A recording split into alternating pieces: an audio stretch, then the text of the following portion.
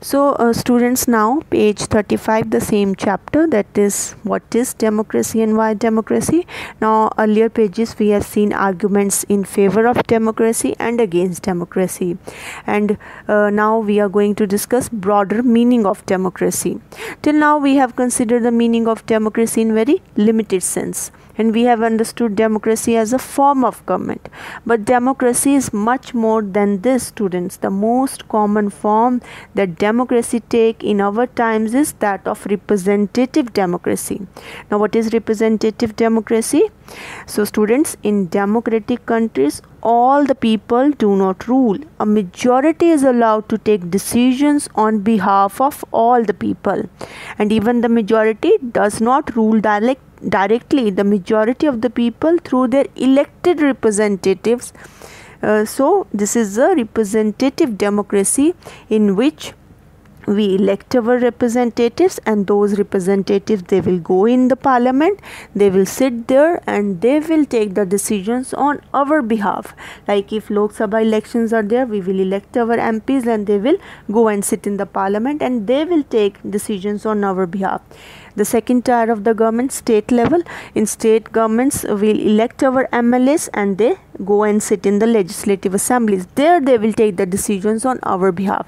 Now if we talk about the third tier students that is the local level where we elect our mayors uh, municipalities and our councillors. Now these are the people who will live with us and who will be there with us in all the decision making process? So uh, th that is why after 1992 in 1992 amendment more empowerment was given to the third tier of our uh, federal structure that is the local level governments now why representative representative democracy is necessary? Now let's see the reason because large number of people modern democracy involves such a large number of people that it, it is very difficult for all to sit together physically and then take collective decisions. This can be done at local level students like gram sabha gram panchayat. This can be done till uh, uh, that level where population is less but if we talk for the full country it is very difficult for us to do uh, direct decision making. Even if they could the citizen does not have time and the desire or the skills to take part in all the decision. So this gives us the clear but the minimal understanding of democracy that our democracy is representative democracy now page 36 here we have to discuss students about democracy. We have seen uh, what is democracy. We have seen the meaning of democracy and we have seen why democracy why we have to adopt democracy.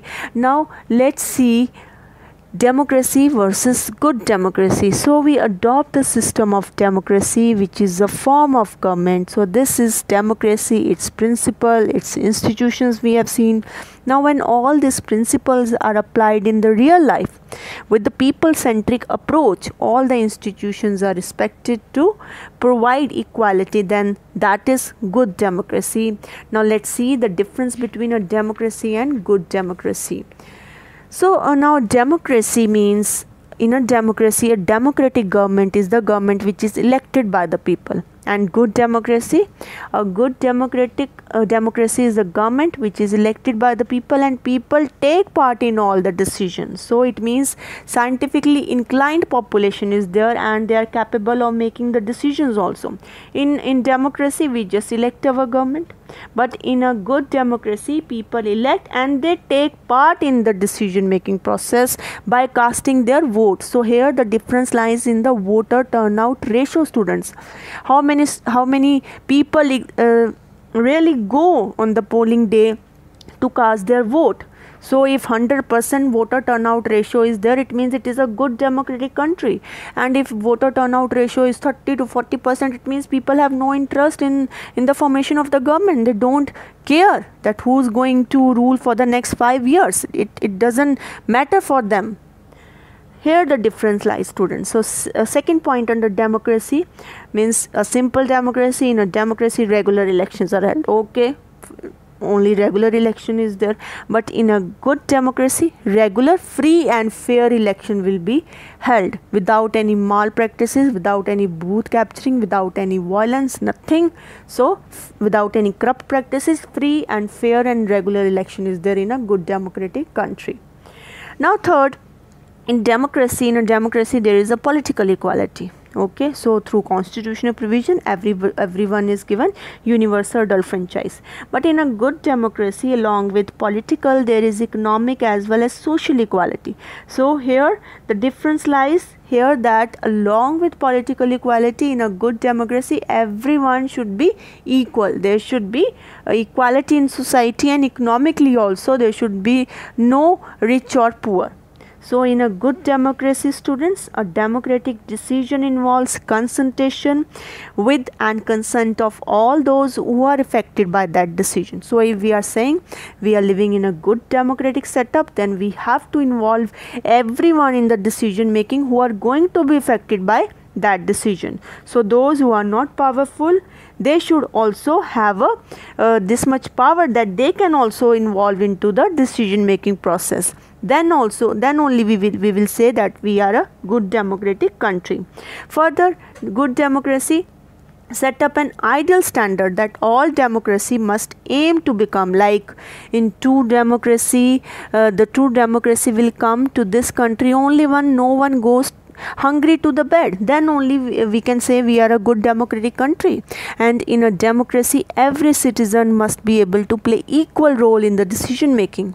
And for this you don't need just an equal right to vote here. Every citizen needs to have equal opportunity of information also basic education also equal resources also and lot of commitment. And if we talk and if we assess the countries on these ideals then no country in the world is a democracy but still we value democracy we judge democracy we identify its weaknesses we complain also about democracy. It helps us to distinguish between democracy and good democracy. So we will not further go deep into the expanded notion of democracy. Our focus here is with some core institutional features of democracy as a form of government so we just need to note that democracy can apply to many spheres of life and democracy can take many forms. There can be uh, various uh, ways of taking decisions in a democratic manner as long as basic principles of consultation on an equal basis is accepted students. And the most common form of democracy in today's world is rule through people's elected representatives. But if the community is small, there can be other ways of taking the democratic decisions. Like i have told you at the village level all the people they can sit together they can take decisions uh, directly. Like uh, village is a small community so this is how our gram sabha works at the village level now concluding our chapter at page 37 students. So no country is a perfect democracy if we see all these ideals so no country is a perfect democracy. And the features which which we have discussed provide only the minimum conditions of a democracy. That does not make it an ideal democracy. What we do as citizens can make a difference to making our country more or less democratic. So this is uh, this only i am saying that if you want to see change in your country then you have to be you have to take initiative and bring that change so if you want to see the change then be the change. And the fate of the country depends not just on what the leaders do but mainly on what as the citizens we do. If our prime minister is saying that uh, vocal for local uh, you have to support your economy you have to build atmanirbhar bharat you have to uh, build self reliant india you have to uh, build digital india you have to uh, go for swachh bharat then we have to support our prime minister in whichever programs we should not see it as a political tool but this is for the community as a whole. This is for the indian uh, people to safeguard them from any any diseases if, if prime minister wants to launch swachh bharat. This is for what? This is not any polit- political tool. This is for our safety only. Cleanliness should be there in our country. So if prime minister is saying you have to uh, support your local economy so this is for our country only that we can avoid this pepsis and colas and rather we can drink our uh, coconut pani. So it will support our local farmers.